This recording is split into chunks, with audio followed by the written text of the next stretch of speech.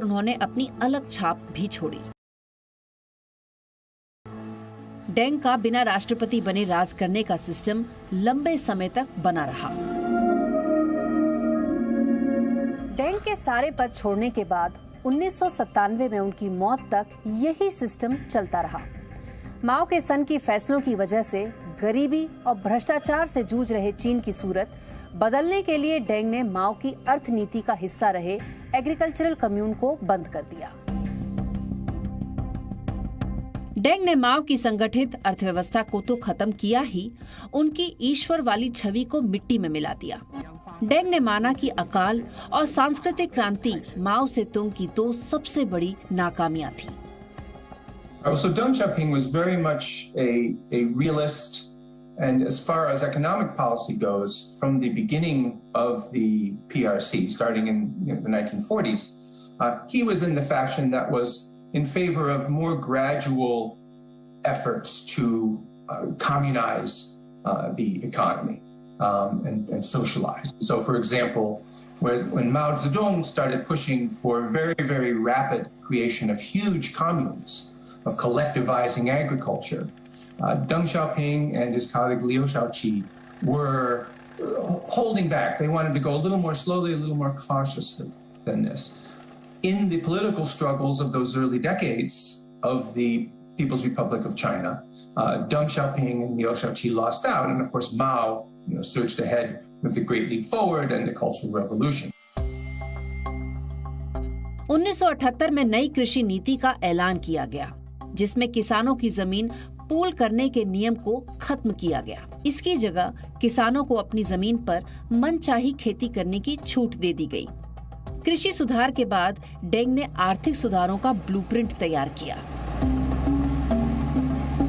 उन्नीस में 11वीं कांग्रेस पार्टी की तीसरी बैठक में डेंग जाओपिंग ने आर्थिक सुधार और ओपन डोर पॉलिसी पेश की, जिसे मंजूर कर लिया गया। इस फैसले ने चीन के नए आर्थिक मॉडल के लिए रास्ता तैयार किया।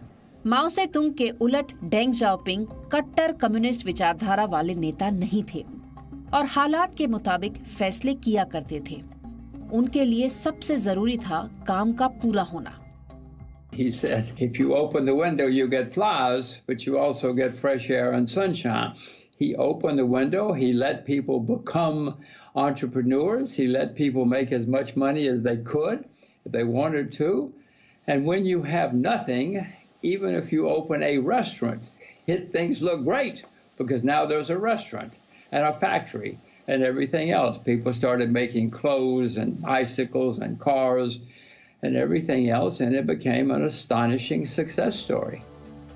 डेंग चीन की अर्थव्यवस्था को विकास की पटरी पर लाना चाहते थे और इसके लिए वो कम्युनिस्ट पार्टी के नियमों को दरकिनार कर चुनिंदा शहरों को कारोबार का गढ़ बनाने के लिए भी तैयार थे।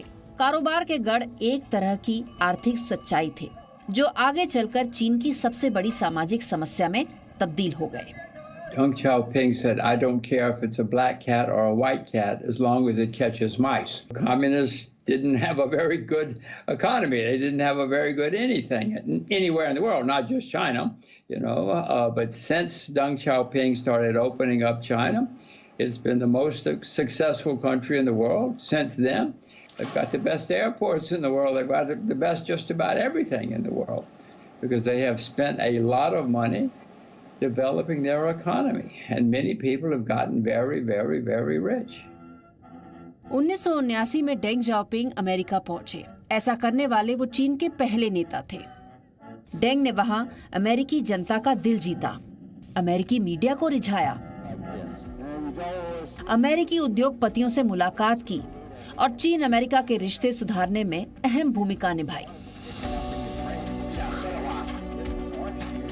अमेरिका से लौटते ही डेंग ने आर्थिक सुधारों की रफ्तार तेज कर दी People who go to China now um, don't even recognize uh, the China of you know the, the late Mao era, the early Deng era, to the way it is now. When I first went to China, everyone was on bicycles. The cities at night were quiet. People didn't have cars. Only party members and government officials had cars. Everyone else was on a bus. उन्नीस